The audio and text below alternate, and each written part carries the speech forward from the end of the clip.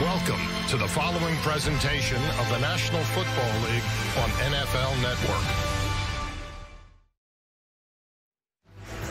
Welcome to Denver, Colorado, and Empower Field at Mile High Stadium, where the home team is trying to dig out of a hole they built for themselves. At one and five this season, the Denver Broncos led on the field by Russell Wilson in flat-out must-win mode tonight against the New England Patriots here on our Holiday Classic.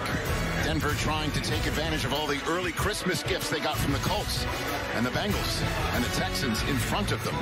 However, in front of them tonight is a team that, despite having 11 losses, really wants to win tonight. Humbled to be part of your Christmas Eve.